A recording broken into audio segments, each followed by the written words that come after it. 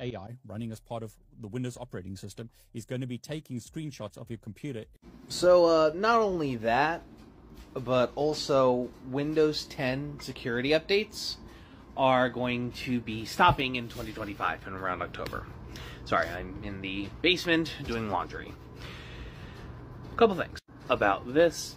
Um, Windows 10 is basic. There are some people that have some. There are some valid concerns about the uh, privacy breaches that can come with Windows 10, but you have the ability to turn those off. Windows 11 is much more of a you know resource hog than 10 was, which is more than 8 was. Actually, I think it's less than 8 was, and then Windows 7 is Windows 7. Um, but there's no security updates for Windows 10 going forward. So the time date clock for me being able to use Windows on my main driver has effectively started. And for many of you, it should be too, because there are no laws, regulations, or even scruples present around AI at this point. OpenAI tries to do the best it can in that regard, but you know, they even then it's hit or miss they, in regards to how much of their data set that is is completely stolen, which I'm guessing is quite a lot of it, all things considered. But even even if it wasn't, their the cult of worship around their CEO is a little leery to me. Um, but back to the Microsoft thing.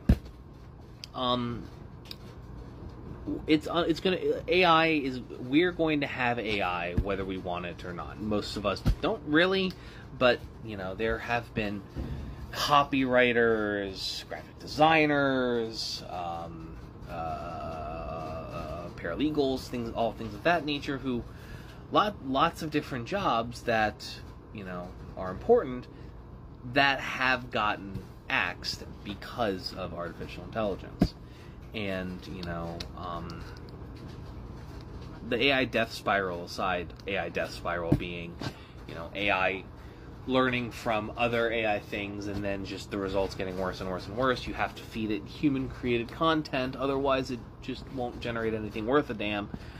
Is going to continue being an issue, and Microsoft is liable to create one of the most sophisticated artificial intelligence models, large language models, probably unavailable in the market, beating OpenAI out by a country fucking mile because they're able to scrape all of the data and take screenshots from every one of the personal computers, computing users using Windows 11.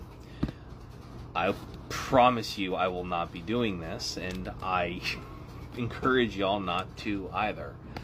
Um, I'm sticking with Windows 10 for as long as I can, and then I'm probably going to be swapping over to Linux probably some kind of Mint installation because I'm not an edge lord that uses uh, Arch, and Ubuntu looks too much like a fucking Mac for me. Um, you know, obviously this is a giant, you know, infringement of privacy. That obviously goes without saying.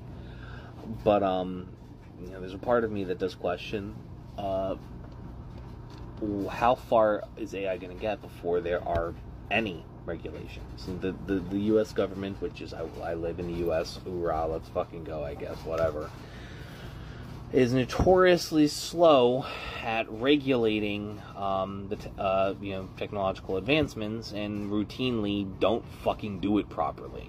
Let's you know be fucking for real here for a second. Uh, I I insert Pearl Mania joke here talking about somebody said I uh, called me a Discord kitten. What is that? Is that a term for Chinese surveillance? Just, just, they're old as shit. And you know, I'm not saying old people can't, you know, get hip with technology. God knows my grand my, my, my grandma is one of my grandmas is. She's fucking dope at it, but you know, the rest of them are kind of dog shit. Those people in their generation. You know, there's an entire generation of people and who took pride in the, their ignorance of not learning anything new, and now they we live in a world where, you know, you, you to to enter to check on the status of your med of your of your Medicaid payment, you know, your your Social Security payment, you probably you can either try and call an office and wait in line for God knows how many hours, or you check their fucking website. So, do, does Social Security have you know the ability to check your availability on a website? I don't know. Those the the fuckers in charge, you know, who- of all who are all of that age, have created an economy where I'm probably not going to get access to Social Security. But this is a tangent that is not what we're talking about. Regardless, um, and move to Linux. Um, I hate Apple. I hate Apple. I hate Apple. But I'll give credit where credit is due. They very well. They they they very much let you own your data. Um, don't put your shit in the cloud. Um, get, I think it's called Immich, and it's a open source cloud software. I was actually looking at it myself. I might um uh, if I see if I can get a, uh, I'd love someday to get a, um, just bite the bullet, get like an old fucking Bitcoin mining rig on the cheap and, you know, just like fill out the parts of it over time, replace the RAM, replace the cards and all that. And there's like, like a big multi terabyte server that I can just put up all like everything in my Google Drive on. I put everything up there, and it's all open source, and it'd be lovely to have. Someday, someday, someday I'll do that. It'd be nice. Oh God, it'd be nice, especially if I can. uh God, but I digress. Um, I am babbling a little bit at this point. This is bad. Um, you know, you you I like you, you yes. Will Microsoft have access to your personal information in the form of being able to completely replicate it? Not necessarily. AI doesn't necessarily work like that. It it's like a black box. It's like YouTube's algorithm. You're not going to be able to.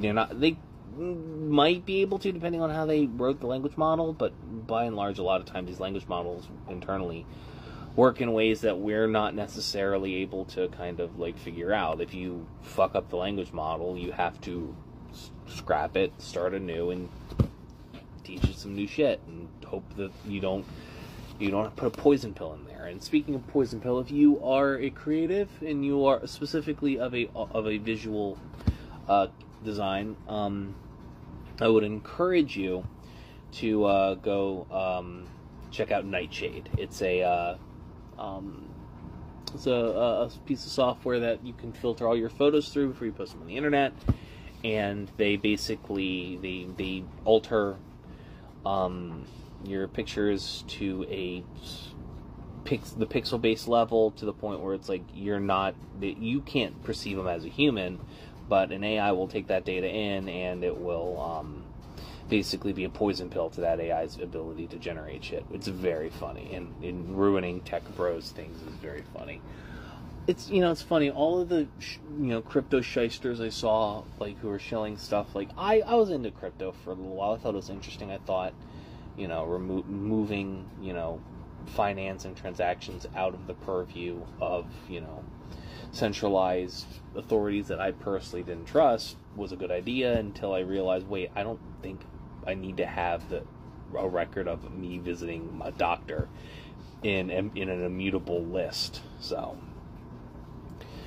you know the biggest thing that these crypto bros hate you know and the reason they push AI so much is because they ultimately do not have a creative bone in their body and they're not good at these things. And they that makes them they're insecure about it and they want nothing more than to they, in, in in true fascistic nature they want to get rid of the artist. They love the art they want to get rid of the artist there's a reason why people like Adolf Hitler and the rest of them like focused on like artwork of long dead uh, German artists who couldn't critique them for using their work in ways that were bastardized. So that's why they love AI because then they can get rid of the artists and make whatever they want without having to like put any humanity behind it.